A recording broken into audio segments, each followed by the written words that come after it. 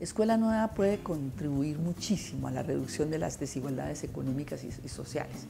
Primero porque está demostrado que sin educación básica de calidad no hay desarrollo social, no hay desarrollo económico, no hay paz y convivencia. Esto ya tiene muchísimos fundamentos científicos mundiales.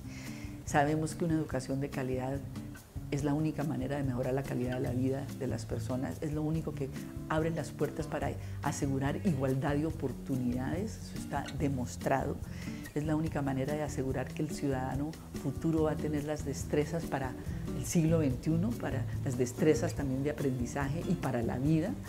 Y es la única manera que vamos a poder contribuir a problemas tan apremiantes como el cambio climático, la seguridad alimentaria y la construcción de paz y convivencia en un país.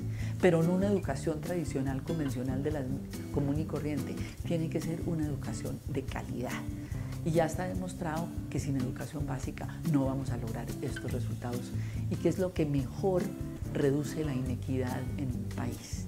Creo que el profesor Alfredo Sarmiento tiene muchísimos estudios demostrando el impacto y la importancia de la educación y de Escuela Nueva en la reducción de las inequidades sociales y para poder ofrecer oportunidades iguales a todos los niños de Colombia.